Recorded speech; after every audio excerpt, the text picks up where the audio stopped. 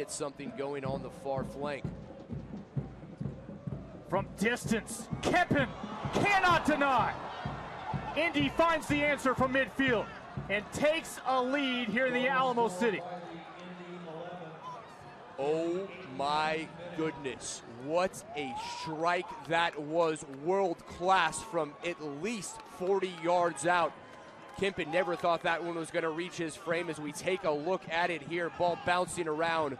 The shot coming off the Buda Pena. And Pena absolutely brilliant. And now it is.